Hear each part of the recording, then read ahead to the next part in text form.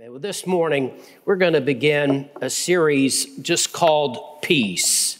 I want to tell you there's a great need in our world for peace.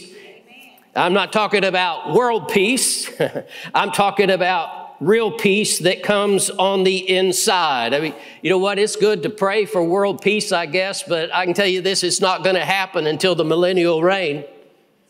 Uh, I don't want to be the bearer of bad news, but I'm just telling you, it's never happened. It's not going to happen that we really have peace in this world on the outside, but we can have peace on the inside. How do you find peace? Well, one guy said that his therapist told him to find real peace that he needed to try to finish the things that he starts. And so he said, Today I finished two bags of chips and a, and a chocolate cake.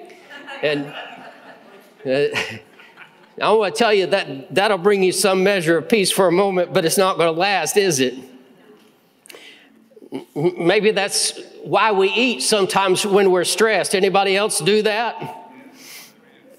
You know, the strange thing for me is, is that whenever Carmen and I go on vacation, uh, we eat, you know, whatever we want, and we forget about the diet and all that kind of stuff, you know, and uh, eat dessert after almost every meal. And, and uh, somehow or another, I usually either lose weight or at least just stay the same. It, it's amazing to me. The only thing I can figure, you know, what I learned from that is, is that I need to go on vacation a whole lot more. you know, that's not really it. No, my confession to you this morning is that I need to learn to have peace all the time really strange, but you know, Carmen and I, we do kind of watch our weight normally and uh, what we eat and everything. And every Monday morning is my peak weight. Why is that? Preacher stresses on Sunday.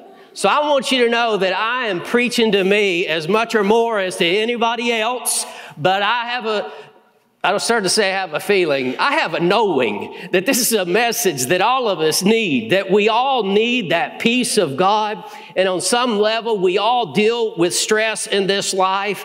And I want you to know that the Lord wants us to have true peace, real peace. You know, the Word of God tells us that Jesus gives us peace. It tells us that we can have peace like a river. It tells us that there's a peace that passes understanding. It tells us that there's a perfect peace that we can have. Our God is Jehovah Shalom, the Lord our peace. I just want to say, we know that this is for us. It's all through the scriptures. But we need to learn how to really walk that out and how to live in that peace each and every day of our life. Because the truth is is that most believers seem to be just as stressed as unbelievers. We need peace. A peace that will last through all the storms through all the trouble of this life. You know what? Stress can make you sick. It can uh, weaken your immune system. Stress can cause, well, the simplest things like a headache or stomach problems, but it can also cause serious health issues like a heart attack and even can contribute to cancer. And I'm just saying that it, it takes a toll on the physical body. In fact, when somebody is under too much stress for too long and it just becomes too, too much for them to handle, more than the body can handle, they call it a breakdown. You see, we need to realize how important it is that we deal with stress, and the only way to really deal with it is to have the peace of God. I think there's so many people in our culture that are just trying to keep their head above water. And I think that for us as believers, sometimes we, we just kind of try to manage stress. You know, it's not that we want to be free from it, you know, we're going to really get victory and really have peace, but we're just trying to keep it at a, at a controllable level. And I want you to know that's not peace. That's not what God really intends for his people. You know, that we just somehow manage to survive it and, you know, maintain it and manage it. No, I really believe God has a peace for us that is much more, something that's liberating, something that really brings freedom in our life. But, you know, in this world, the need for peace is so great that people will try just about anything to deal with stress. You know, some try solitude. And, and I want you to know if you're talking about you and Jesus, uh, well, that might work. But, it, you know, you can get alone all by yourself. And you know what happens a lot of the time? You just start thinking about all of the issues and the things that would trouble you. Isn't that, isn't that right? Mm-hmm. Sometimes, you know, people make this a way of life, and I, am just going to address this and I'm just being honest and candid and um, pastorally. Uh, and and uh, if I offend you, well, I just want to tell you I'm trying to help you. See, a lot of people make this a way of life, just like the world does, where, you know, they need to relax a little bit, and so they're going to have a drink. I want to tell you that's a very dangerous pattern. Well, I need to relax. Do you know that's what the alcoholic says? And even if you say, well, I'm free in Christ and I can do this, I want, I just want to encourage you to think about this. Can, can your family and friends handle your freedom? Or is it a stumbling block to them? Are you sure that your influence and your freedom is not going to cause your child to grow up one day and be an alcoholic because a whole lot of people do? Amen. But here's the bottom line though. You can't get peace, not real peace, from a bottle. And when we say, oh, I, you know, I just need to relax a little, I want you to know that right there is what I'm talking about. We need the peace of God. That's the answer. Not anything in this world, it's Him. See, in our culture, we know this that so many people turn to illegal drugs and how it just destroys their life. Why would they do that? Most of them, it's because they're looking, they're trying to find this peace. And in the time we live now, prescription drugs have become just an, an epidemic abuse of people needing peace. Uh, please don't misunderstand me. I'm not judging anybody. What I am saying is, is that it's so obvious there's this huge need for peace. And whenever you say something about prescription drugs, I know you know that's a sensitive subject for people. People say, "Oh, well, you know, if you're sick, you take medicine." I understand that. I absolutely do. I also know that Jesus is our healer, and I also know that He can give you peace. And I'm just saying that that's, that's not real peace at best. It just numbs the stress for a little while. But real peace is available to us, and real peace comes from Jesus. A lot of people, they try to find peace through some kind of entertainment, and, um, you know, I'm just going to throw myself into this.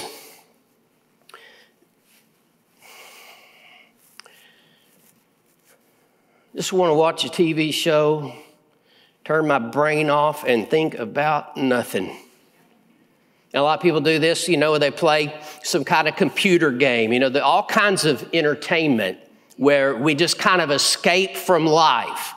Does it solve anything? Does it fix anything? The stress, the problems, the issues will still be there when you're done watching that show or playing that game. But it's just amazing how we so often try to deal with stress just by uh, some kind of an entertainment escape. So many even look to religion for peace, man made religion. You know, all the great religions of the world, and I don't mean great as in good, I mean great as in big ones, all right? All the big religions of the world, they all talk about peace. But the religion of man, the rules of man, can't really bring you peace. You know, You can't be found focusing your mind on nothingness to achieve a state of la la land. You know, focus on the third eye. You don't know what I'm talking about? Good. You don't need to know. But I'm just telling you, you can't get real peace anywhere else but Jesus. We need to know that peace really is for the believer. And we need to know how we can live in this peace and have this peace every day of our lives. That's what this series is about. The first thing we need to know, though, is that Jesus gives us peace. There's only one source of true peace. Romans 16 20 tells us that He is the God of peace. He's the God of it. He's the author of peace. I just want you to know he wrote the book on peace. Isaiah 9 6 tells us that Jesus is the Prince of Peace and he gives us peace. John 14 27. This is our key verse for this morning, but there are going to be some others too. Jesus says, Peace I leave with you, my peace I give to you. And not as the world gives, do I give to you. Let not your heart be troubled, neither let it be afraid. Jesus says, My peace I give to you. Oh, we need to hear that, church. We need to hear it as though Jesus is saying it to us this morning. My peace I give to you. But it's real important that we see here, he says, not as the world gives, because the world's peace is always fleeting. It's always dependent on something else. The peace that Jesus gives, it's a peace that lasts. It's a peace that can endure through all of the difficult times of life. See, a lot of people's peace, it's dependent on the evening news. It's dependent on the stock market. It's dependent on what's going on in the government. And more and more and more I see in the time that we live is that Christians are not at peace. They're all upset. They're all being out of shape. They're stressed and anxious and they're so worried and fearful. He says, I give you my peace. Let not your heart be troubled, neither let it be afraid. I want to tell you, Jesus' peace is greater than all of the issues of the day and all of the problems and all of the battles. He wants us to have a lasting peace. The world's peace is so dependent on the circumstance of life. And His peace, though, is just dependent on this that we are able to receive the peace that He has for us. He gives us peace. My peace I give to you. What peace? What peace? He said, My peace I give to you. The same peace that the Prince of Peace has. He says, My peace I give to you.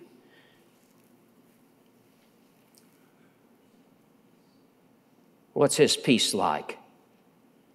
The night that he made this promise of peace was the night that he was betrayed he knew what he was facing, what was going to happen, yet he had peace. Matthew 16, 21. From that time, Jesus began to show his disciples that he must go to Jerusalem and suffer many things from the elders and the chief priests and scribes and be killed and raised from the dead the third day. Raised the third day. Jesus was completely at peace, talking about his death. I must go to Jerusalem. I must suffer many things. I must be killed and raised the third day. Jesus has a peace that would endure. And we need that kind of peace. He says, not as the world gives.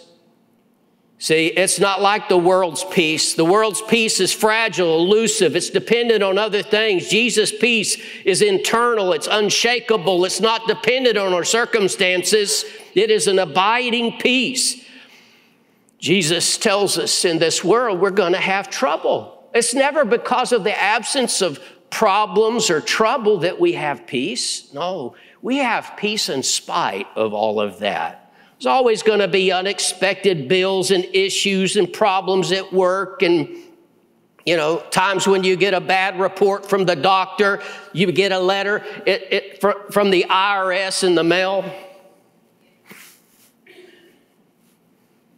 What happens when you get that letter? You know, most of the time it's some little silly thing, and yet, nonetheless, every time when I get that letter that says IRS, Internal Revenue Service, I think my heart skips a beat. You know what I'm saying? But see, we need to learn to have peace no matter what's going on. Even if we did get a letter that was something serious, we need to have the peace of God. That's the peace that Jesus gives to us. Not an outward peace, but a peace on the inside. See, we got to know this that His peace is different from the world's peace. See, peace on the outside, it'll always come and go, mostly go. Did you know that Jesus says it's really confusing on the surface, on the face of it? Matthew 10 34, Jesus says, Do not think I came to bring peace on earth. I did not come to bring peace, but a sword. Now, he's not talking about his peace here, an inward peace. He's talking about peace on the outside. You see, at this time, Jesus isn't come, he didn't come to set up world peace on this earth. He didn't come to bring that kind of peace. But he did come to give us peace on the inside. It is a peace that is real, even in the midst of a great battle. You know, the Lord called Gideon to lead the children of Israel into battle, to fight for their freedom. And this is what he says to Gideon. This is part of what he said to him. It's Judges 6 23 and 24. The Lord said to him, Peace be with you. Do not fear. You shall not die. So Gideon built an altar there to the Lord and called it, The Lord is Peace. That's in the Hebrew, Jehovah Shalom. That's where we get that. Jehovah Shalom. It came from this passage where Gideon says, The Lord is peace. And he's about to lead the people into battle. We need to understand that no matter what we go through, no matter how great the battle, the Lord is our peace. There's still peace in the midst of the battle. That's the kind of peace that Jesus gives. That's what he's talking about when he says, My peace I give to you, not as the world gives. No, it is a lasting peace. That even when the battle's raging all around you, even when it just seems like, you know, there's a flood of trouble in your life, that you can still be at peace. He prepares a table before me in the presence of my enemies. Say, we can have peace no matter what is going on around us. And Jesus' peace is freely given to us. He says, My peace I give to you. How do you receive this? By faith. It's a gift. He gives it to us and we need to receive it by faith. In fact, Isaiah 53 and 5 in the prophecy of the Lord Jesus' passion, it tells us the chastisement for our peace was upon him. See, we know this. Jesus paid the price for our sins that we might be saved. And how do you receive this? By faith. Jesus bore stripes, wounds. He suffered so that we might be healed.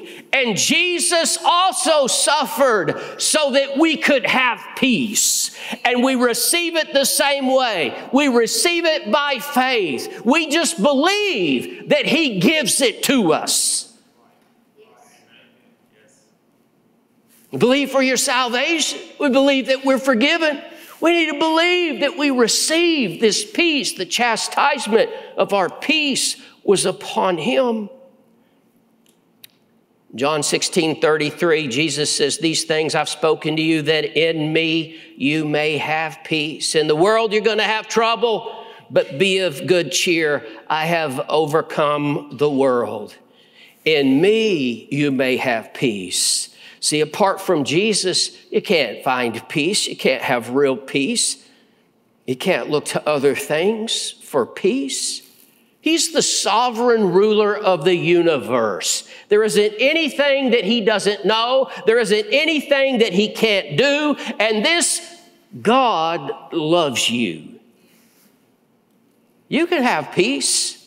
You see, when, when you know that he is your provider, when you know that you know that you know, you can have peace no matter what is going on in this world financially. Even when you lose your job, you can still have peace when you know that He's your provider. See, you can have peace when you know that He is your healer. No matter what the doctor says, the report says, no matter what's going on, you can still have peace. You can know that if He is your avenger, when people have wronged you and that there's things going on where you're being attacked, I want you to know you can have peace through that when you know that He is your avenger. You see, we just need to realize this God we serve, He's big enough to take care of His children. We should always have peace. He's still our shepherd. He's still our God. He's still our defender. He makes the way for us no matter what's going on. Now, I want to go to this story in Mark chapter 4. It's a familiar story, but I want us to see some spiritual truth here this morning. Mark chapter 4, verse 35 through 41, it says, On the same day when evening had come, he said to them, Let us cross over to the other side. And now, when they had left the multitude, they took him along in the boat as he went, excuse me, as he was, and uh, the other little boats were also with them, and a great windstorm arose, and the waves beat into the boat so that it was already filling. But he was in the stern, asleep on a pillow. And they awoke him and said to him, Teacher, do you not care that we are per- perishing? You ever feel like that? Lord, don't you care?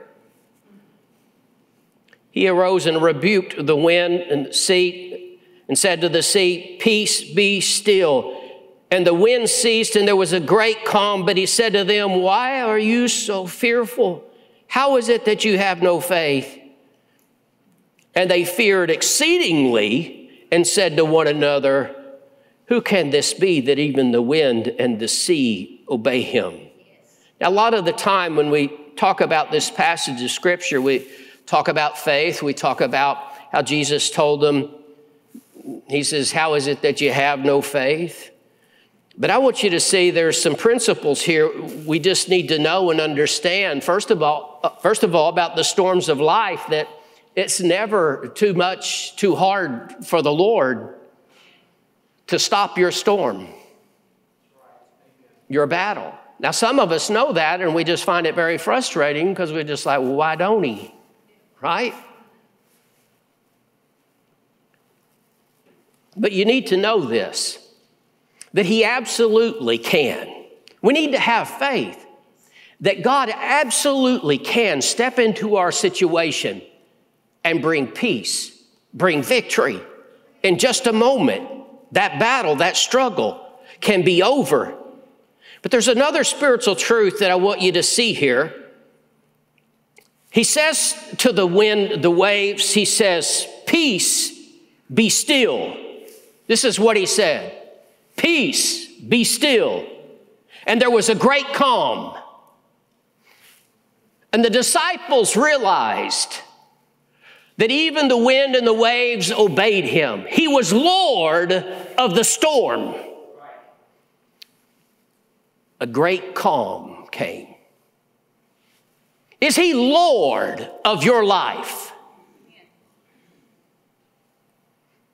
Because if Jesus is Lord of our life, when He says, My peace I give to you, we should have a great calm. That all the storm inside stops, all that stress and conflict, it should just stop when we hear His word. My peace I give to you. You, see, you just need to allow that great calm to come on you when you realize that He has given you His peace. You see, He can give us peace even in the midst of the storm, through the battle that we're going through. We can have absolute peace. It's not too much for Him. If He can speak peace, to the wind and the waves? Can He not speak peace to your troubled mind, to your heart? He can. He is Lord, Lord of the storm. He's Lord of whatever you go through, all kinds of great struggles and battles people go through with illness or financial problems, divorce, I'll talk about one that's rather trite, but I think some others might be able to relate to it. He's Lord even over traffic.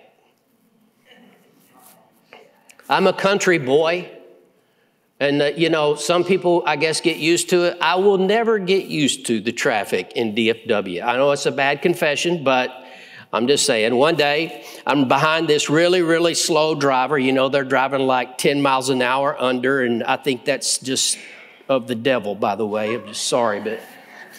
And, and you know, I'm thinking, they're making me late. I got things to do. And so instead of having peace, I'm like gripping the steering wheel. You ever done this and didn't even know you were doing it until all of a sudden you were like, oh, Anybody ever uptight and like stressed out and you're all tense and you finally kind of realize it and relax? And so instead of having peace, this is how I'm handling this. You know, I'm like, Ugh. They finally turned off, and I was coming up to a traffic light that's one of those really, really long ones, and it turns green. And I'm like, wow, that just saved me like three minutes. That's more than that slow driver cost me. And I'm thinking, you are Lord of the traffic lights. I just want you to realize He's Lord no matter what's going on. You get stuck in traffic for 45 minutes, you're at a dead standstill. What are you going to do? No, listen, He's still sovereign Lord. You can have peace no matter what's going on. God's bigger than all that. He's bigger. Than, now, that's just a little thing, in it? Traffic, well, some of you can relate. But you see, He's bigger than your biggest battle. We need to learn to trust Him. We, get, we can have peace if we just learn that He is in control, He is Lord. Jesus has the peace, and He invites us to come to Him. Matthew 11, 28 through 30, he says to a stressed out world, He says, Come to me, all you who labor and are heavy laden. I think, especially in our culture, maybe we find ourselves here where we say, Well, you know, I got work to do, I've got responsibilities. He knows. He says, All you who labor and are heavy laden, and I will give you rest. He's not talking about a vacation. He's talking about rest for your soul. Take my yoke upon you and learn from me, for I am gentle and lowly in heart, and you will find rest for your souls. For my yoke is easy and my burden is light. See, Jesus is talking to people who were working so hard, they're under such a heavy load, and he didn't tell them, go, just go quit your job, shirk your responsibilities. No, he says, take my yoke upon you and learn from me. Learn from me. You see, he's inviting us to learn his ways. This is the call to be a disciple, by the way, is to learn from Jesus but he says, Take my yoke upon you. You know, when you talk about a yoke, we need to realize that a yoke is designed for two. That's why they call it a pair of oxen is called a yoke of oxen. It's designed for two. And when you take Jesus' yoke upon you, you're hooking up with Jesus. Take my yoke upon you. Being yoked together with Jesus is a wonderful thing. But I am going to tell you this that when you yoke together with Jesus, you're going his way, he's not going your way. See, when you yoke together with Jesus, you can be free from the stress, the anxiety, all of that weight and burden and pressure but you're going to have to go his way. Because Jesus said, I always do what pleases the Father. I say what he wants me to say. And you see, when we yoke up with Jesus, we need to understand that our life is no longer just ours to, to live the way we want. Because the truth is, we're never really going to have peace doing it our way.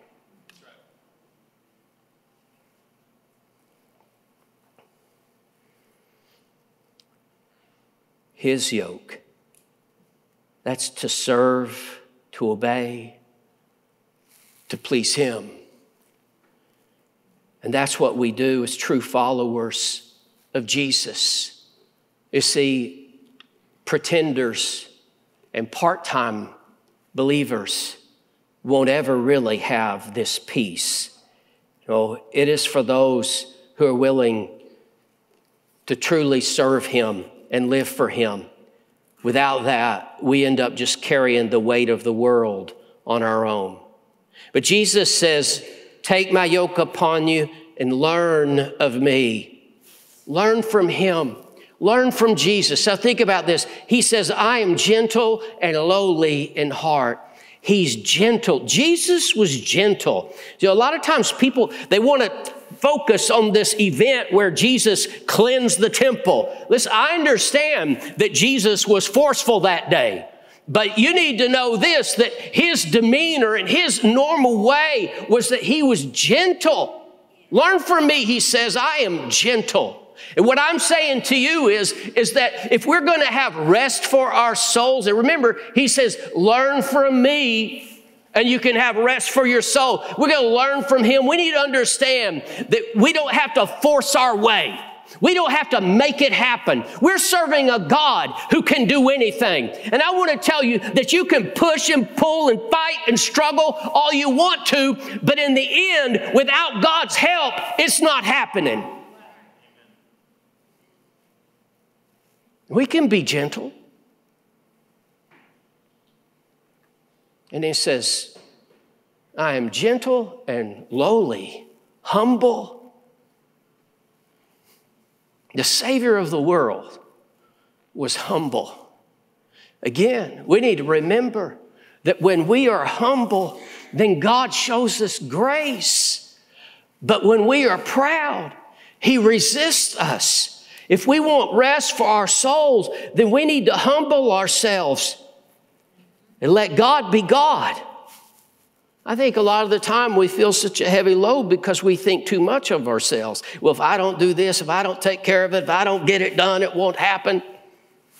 Okay, well, I may just be preaching to me. Y'all are getting quiet, but okay, I'm preaching to me then. That's all right. But here's what I know is that God has to be God in our life. We have to humble ourselves and let Him rule and reign. Let Him take the heavy load. Here's our responsibility. Here's our yoke with Jesus. We just do what He wants us to do and we leave the rest to Him. See, we're, we're supposed to sow, we're supposed to water, but He's the one that gives the increase.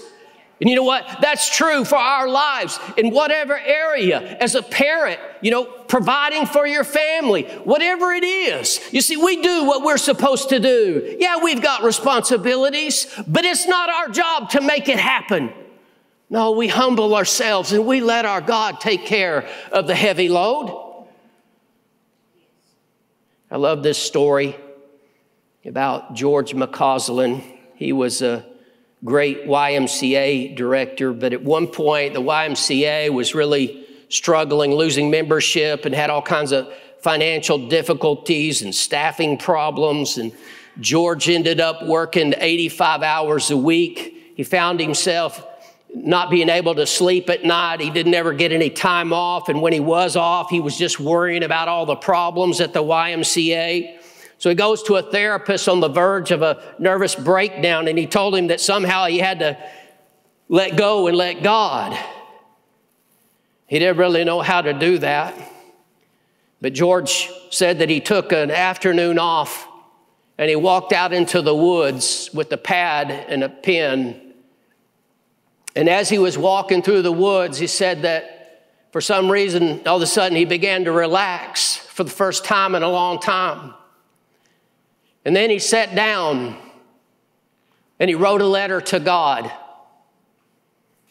And he said the letter basically went like this Dear God, today I hereby resign as the general manager of the universe. Love, George. And with a twinkle in his eye, George McCausland said, A wonder of wonders, God accepted my resignation. I want to say it again. When we just obey God and do what God asks of us, He takes care of the rest, and we can rest. There are always going to be things in this life that we cannot control, and that's where most of our stress comes from. But there's not anything that our God can't do. There's not anything that's too big for Him. And those problems, those burdens that we can't fix, we just need to cast it over on Him. We need to turn it over to Him. You see, Jesus freely gives us this peace, but you need to get rid of those burdens. You need to turn that over to Him. It's 1 Peter 5, 6, and 7. Therefore, humble yourself under the mighty hand of God. And there it is again that we need to humble ourselves. Let God be God. It's amazing to me how that even in some of the doctrines of the day, the pop theology of the day, it's too much. It sounds like people are trying to play God they think too much of themselves. What we need to do is we need to humble ourselves under the mighty hand of God that He may exalt us in due time, casting all your care upon Him, for He cares for you. All those burdens, you cast it over on the one who cares for you. I know it's not always easy. The key is to humble yourself and to say, Lord, I can't. I can't do this on my own. I can't fix this. Those things that are heavy on you, turn it over to Him. Turn it over to Him. He can handle it. I want you to stand with me. We're going to pray. I want our prayer partners to come.